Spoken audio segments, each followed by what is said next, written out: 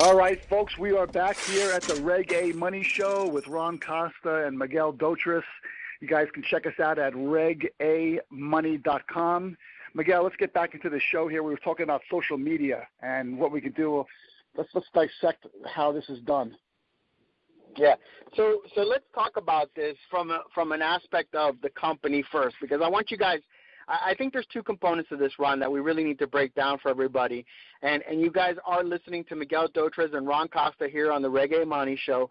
Uh, we're going to divide this up into two different segments. What I want to talk to you guys about first is the company side, and then what we're going to refer to as the investor. You know, the guy who is actually putting up the money in the offering. How how we do that. So social media social media has been a critical aspect of all successful Reg A offerings to this point. Why is that, Ron? Because everybody wants to know how social media has has evolved and and also has taken a hold as the premier vehicle to be able to get the offering out there into the public because let's talk about let's talk about how this happened so so in the Jobs Act uh, under Title under Title Four, it allows you to, to advertise your offering to the crowd.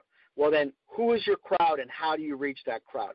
So essentially, if you have a if you have an existing company right now, and you've had investors fund your company, what what you need to do is you need to consider re-engineering your investor list. Now, what does that mean? That means take a look at the people that you have currently on your investor list who are the guys who believed in you enough to write you a check to fund your company to this point? Because we're talking about the next evolution of your business, the next capital and in, in, uh, infusion into your business to grow your business to the next level. So once you look at those investors and you kind of re-engineer them and find out what makes those guys tick, you're going to have a really good understanding of who these investors are. Now, on the other side of that, what that does for you is allows you to identify the particular person who is going to be looking at your investment in the right light. The guy who is going to be in the wheelhouse that this investor is going to be. So, like, let's say, for example, you are a startup craft beer uh, business, right? So you're doing a craft beer brewery, right? Right. You're not going to look to try to get guys or investors who are in in pharmaceuticals.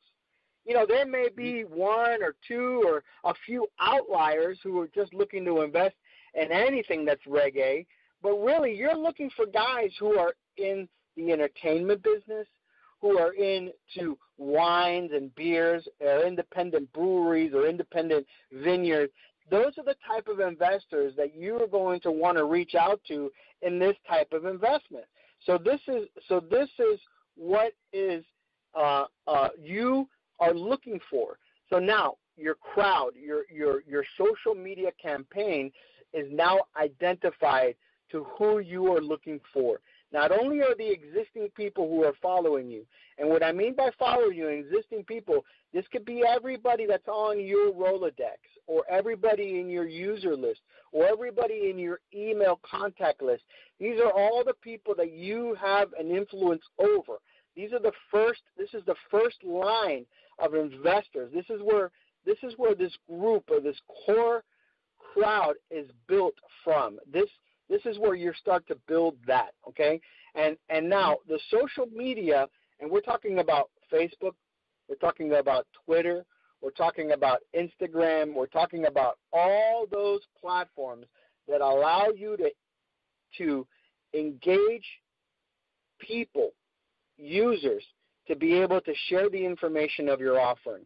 Because under the tier two offering, you're allowed to solicit everyone that you possibly can and let them uh, find an interest to whatever platform you're using. Either you're using a, a crowdfunding platform where your offering is being hosted, or you're using a bookmaker or somebody who is who is representing your offering on the street, which you can then drive the traffic there so that way they're able to take that information that you've garnered and, and convert those people into investors in your company, and that's what we're talking yeah, and, about. And Miguel, yeah, Miguel, driving driving someone to, driving someone to a an investment portal is as simple then as just putting a link on your Facebook page. You have some information on there with the link. People follow the link, and they can go right there for to to invest. Absolutely, and those links, those links, Ron, are the links that I think are most important because as you, as everyone knows, you know, as posting stories on Facebook and and Twitter and stuff like that, you need to be hitting these people in two to three different spots. So you need to be oh, hitting yeah, them on Facebook. You need to be hitting them on Facebook. You need to be hitting them on LinkedIn. You need to be hitting them on, on Instagram, on Twitter, any different way that you can reach out to those people so they see that link in multiple times and those links are retweet they're they're resent or retweeted yeah. Or, they're even even mentions okay on other people's feeds that's where you start to gain momentum now you're saying yeah, to me, else, and I know yeah, something else we haven't mentioned either on this on social media wise is there's uh, there's YouTube out there which hosts videos. Of course, everybody knows YouTube, but YouTube is a phenomenal way for customers um, and and issuers to get uh, video out on their product. find out what they do. Like for example, the the Myomo deal that we talked about before. I mean, you know, six four four months ago, I didn't even know who Myomo was. Wanted to find out what they, what they were doing.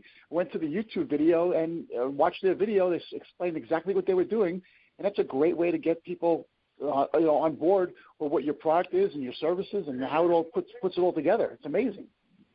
So no, absolutely. really, really strong. Very important. And, and yeah, and, and and let me tell you what a better not what a better way of telling your story than actually seeing how your product or your story is portrayed in a video you know, or, or, or how your story is portrayed in a mini film, you know, because I've seen these guys go all out and trying to do, you know, testimonials.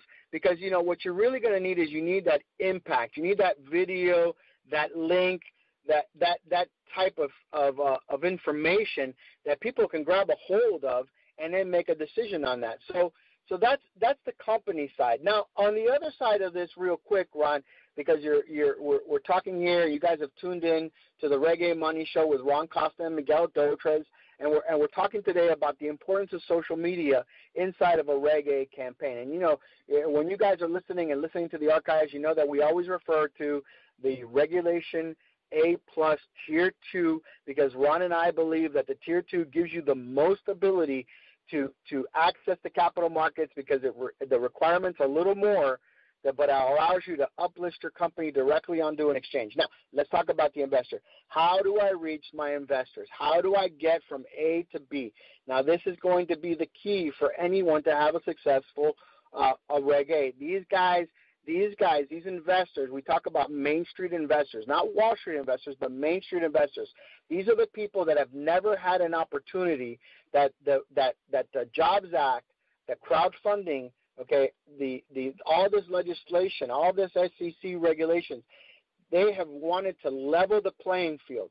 So now, where the middle of the road, where Main Street meets Wall Street, all these investors that have never had an opportunity to even participate or sniff an IPO, because essentially this is an IPO. These investors are out there. They're looking for opportunities.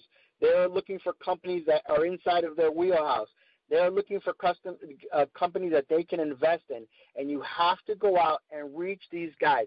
And these guys, you're going to find that a lot of these guys, okay, you know, there's a lot of there's a lot of information that's out there, and you guys can check out the reg uh, regamoney.com site. There's a lot of information there that tells you that a lot of your customers and vendors and your and your circle of influence in your in your social media platforms are the first line of investors. And then what happens to there? It's the rule of seven.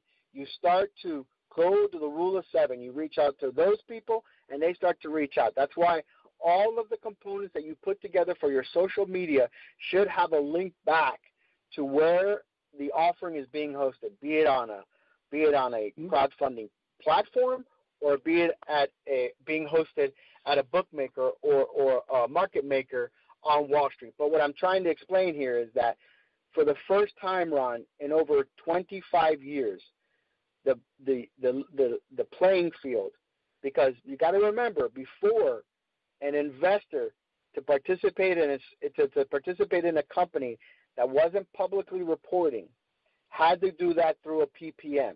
And the only way that right. you could send you could you could solicit anybody you wanted under PPM under Form D, okay? It's called Form D under the Securities and Exchange Commission. The only way that you could do that it was by doing an investor questionnaire. And that investor questionnaire would rule out about 80% of the people because, you know, maybe you're you may you maybe had, you know, like let's say, you know, cousin Larry wanted to give you a 100 grand.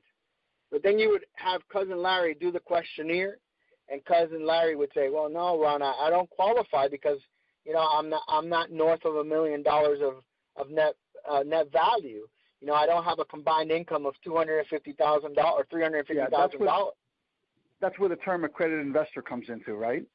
Exactly. So you couldn't take a credit, you couldn't take non-accreditor uh, investors' money. So now, now, what does the company do? The company now is actually has their hands tied behind their back because they got a guy who wants to give them a check but can't take that check because of the rules, right? But now, under crowdfunding, under under Title Four and Title Three of the Jobs Act, now that same uh, uh, uh, cousin Larry, Uncle Larry, is able now, as long as you have your your Reg A Tier Two uh, plus. I'm sorry, Reg A plus Tier Two. I'm sorry, uh, I got I got a little confused. Uh, but as long as it's at, it's uh, qualified by the Securities and Exchange Commission, and, and Uncle Larry uh, is not using more than 10% of his net income to to fund you, now you can take Uncle Larry's money. You can take anybody's money that you want as long as they're not as long as they're compliant with the rules of the 10% which there are limitations, but it only limits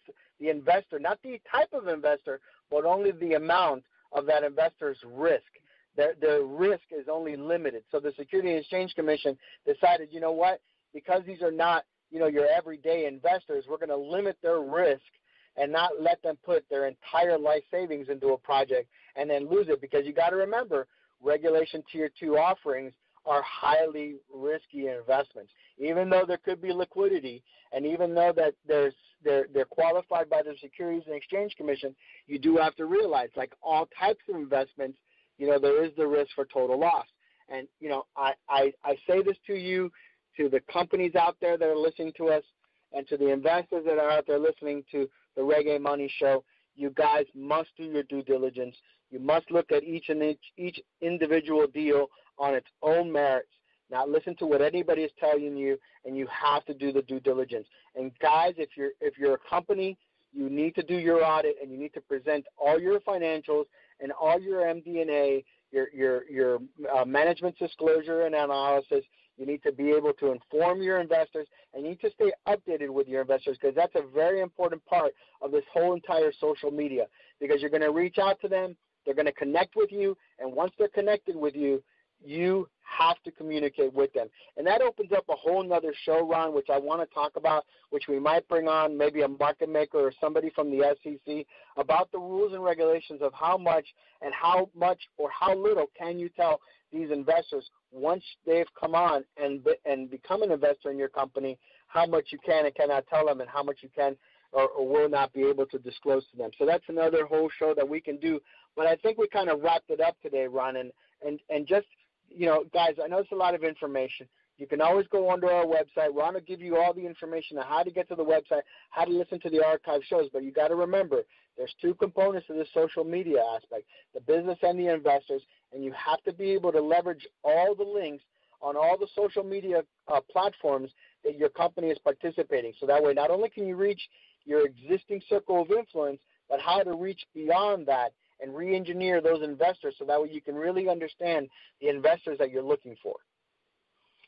Yeah, and the companies that do that well will be the successful companies, and that's the way Reg A works. So, yeah, Miguel, a lot of information on this show. This is real great. Uh, if you're out there, you're listening to the Reg A Money Show with Ron Costa and Miguel Dotres. We can be found at www.regamoney.com, R-E-G-A money.com or you could check out our news site, which is ipo2go.com. We post a lot of news articles on that as well. And lastly, we're on Spreaker, we're on Stitcher, we are on iTunes. You can follow us from any of those locations. Go out there, check out the Reg A Money Show, tell your friends, and we'll continue to bring you shows regarding Reg A with some really great information, just like you heard today. So thanks a lot for listening, and we'll see you all next week. Take care, everyone.